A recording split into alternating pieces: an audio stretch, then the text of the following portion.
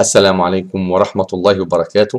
أهلا بحضراتكم في فيديو جديد من فيديوهات تبسيط آه العلوم. بنتكلم النهاردة في تجربة جديدة وشغل جديد اللي هو آه العوامل المؤثرة على عملية النتح. إحنا اتكلمنا عن النتح قبل كده وكشفنا عليه وعرفنا إن في مية بتخرج من ثغور النباتات. طب إيه العوامل بقى اللي بت بتزود أو بتنقص اللي هي بتأثر على هذه العملية؟ هنشوف ده من خلال استخدام معمل افتراضي. المعمل الافتراضي هيكون الرابط بتاعه موجود أسفل الفيديو إن شاء الله. يلا على طول عشان نطبق. يلا بينا. ادي المعمل الافتراضي قدامنا هنا بنلاقي عندنا ثلاث عوامل إضاءة رياح وحرارة وأربع نباتات. بنختار أي نبات. لو أنا مش عايز النبات ده بختار نبات تاني. أهو بجيبه مجرد أشده كده أنا غيرت النبات واسم النبات بيطلع لي هنا. خلاص جبت النبات ده حطيته هنا. أهو ده جيرانيوم. خلاص سبت النبات هنا. طبعا ده متصل بمية بالشكل ده كده بحيث لما هيطلع بخار مية من هنا هيعوض النبات إنه يسحب مية من هنا. فأقدر أشوف الكمية اللي اتسحبت وطبعا هي هتتسجل لي هنا. دي درجة الحرارة موجوده عندي وده التايمنج بتاعي. فاللي بيحصل إيه؟ هجيب أول عامل هجيب الإضاءة بالشكل ده كده.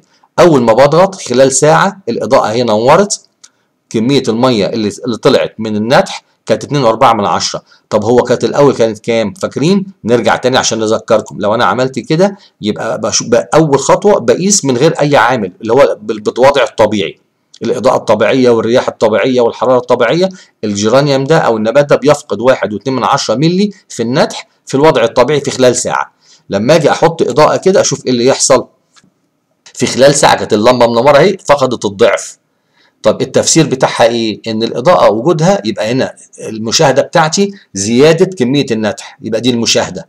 الاستنتاج بتاعي كمية يبقى الإضاءة بتزود كمية الإيه؟ دي الاستنتاج. ما هي لما المية المشاهدة بتاعتي إن كميه إن في كمية المية أكبر.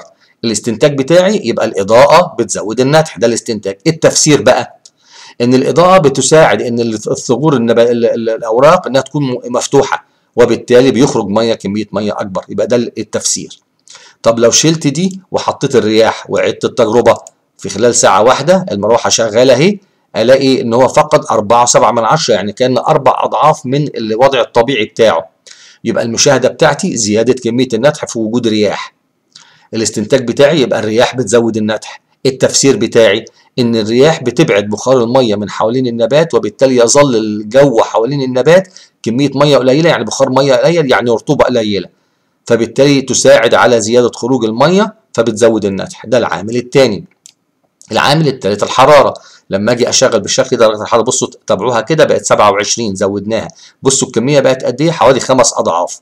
يبقى أيضا الحرارة يبقى المشاهدة بتاعتي زيادة كمية المية اللي خارجة في النتح في عامل الحرارة.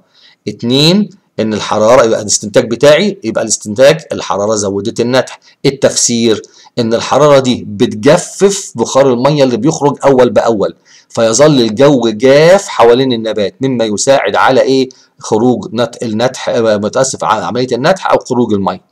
لما أجي أقارن ما بين الثلاثه آه ألاقي إن الثلاثه الإضاءة والرياح والحرارة زودوا النتح ولكن بدرجات متفاوتة. كان أعلاهم هو مين؟ الحرارة. درجة الحرارة العالية بتخلي النتح يحصل بصورة كبيرة جدا وعشان كده ممكن يؤدي إلى وجود جفاف. يعني في الأجواء الحارة ممكن النبات يحصل له جفاف وذبول.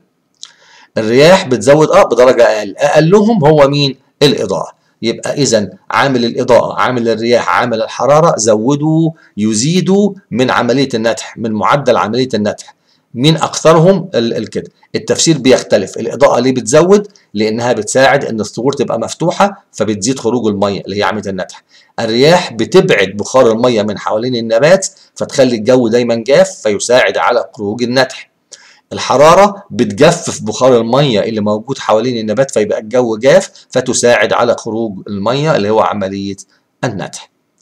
إن كنت أحسنت فمن الله وإن كنت أخطأت أو نسيت شيئا فمن نفسي. اللهم علمنا ما ينفعنا وانفعنا بما علمتنا ولا تجعل في عملنا رياء أو سمعا. المعمل الافتراضي هيكون الرابط بتاعه موجود أسفل الفيديو بمشيئه الله عشان تجربوا بنفسكم وتستمتعوا بمعامل الافتراضيه شكرا وإلى أن نلتقي في معمل جديد أو تجربة جديدة أو فيديو جديد. أترككم في رعاية الله وأمان. والسلام عليكم ورحمة الله وبركاته.